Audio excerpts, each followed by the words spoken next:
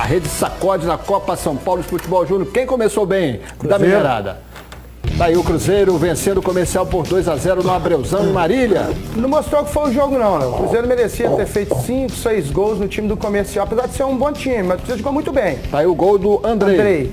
Gol do Andrei. E o Cruzeiro tem um bom time. Olha esse, esse gol, esse outro aí foi do Rick, né?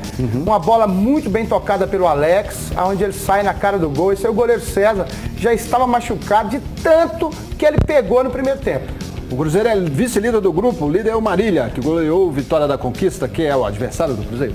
Hoje, o Cruzeiro joga hoje às 21 horas contra o Vitória da Conquista nesse mesmo estádio lá em Marília, tá? E esse ano classificam dois, né? Tá mais tranquilo. É. Tá aí no grupo 28, o América em, na rua Javari. Zé Ricardo fez de pênalti. Foi pênalti? Pênalti, que claro, pênalti, com, claro. com bola enfiada do Mateuzinho. Mateuzinho acabou com o jogo, viu?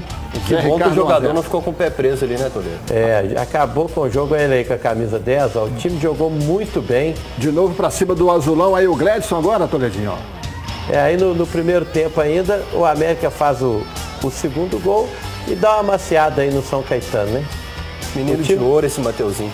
O, o Aí, Júnior- aí, ó. O Renan Tira vai olho, fazer o olho. terceiro gol e o América é líder por saldo de gol seguido do Juventus, Pérolas Negras do Haiti, que perdeu para o Juventus por 2x1 na estreia. É, e o Pelas Negras é o nosso adversário de amanhã, dá nele uma cacetada. E esse último gol aí foi do Renan. Né, A América vai classificar fácil nessa fase e eu tenho certeza que esse time vai dar o que falar, porque o, o jogador é muito bom.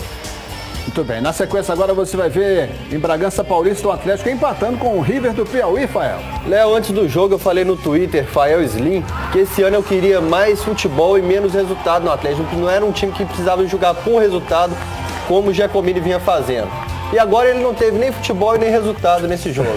O Flávio fez 1x0 pro Atlético e o Jonas vai empatar pro River. É, Se o fosse Atlético, pelo menos o Flamengo do Piauí, É mas o River do o Piauí, Atlético tá precisando de opções para a área aí na base, tem muita coisa para ser corrigida, Léo. Ainda assim o Atlético é líder.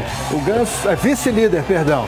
Vice-líder. O Araxá que é o líder. O Ganso Maluco venceu a Desportiva Paranaense 2x1 aí, aí, assumindo a liderança e o vice é o Galo. Vamos de classificação com o Ganso Maluco e o Galo doido, Léo. Agora tem que melhorar muito porque eu vi de perto a base em 2015 e eu sei que esse time júnior precisa melhorar. Então hoje é Clássico Mineiro na Copa São Paulo. O líder Araxá com o vice-líder. Amanhã. É, e o Ganso é bem mais foda do que o, O Galo. né? Ganso vai pegar esse galinho aí, você vai ver o que, Amanhã começa a virada. Tamanho do Precisa melhorar, precisa. O time do Galo teve mais opções, mas atacou mais. Porém, o River, numa falha do Atlético ali, empatou. River do Piauí. Esse aí já é depois. brincadeira. Esse é o Ganso. Esse é o Ganso. Esse é o, Esse é o do Ganso. Araxá. Ele tá totalmente desnorteado hoje, Sérgio. Depois. Ele Agora, tá achando que o Araxá é o tá achando que Atlético. o Araxá, O pelo Araxá fez os gols aí com o Leon e o Daniel.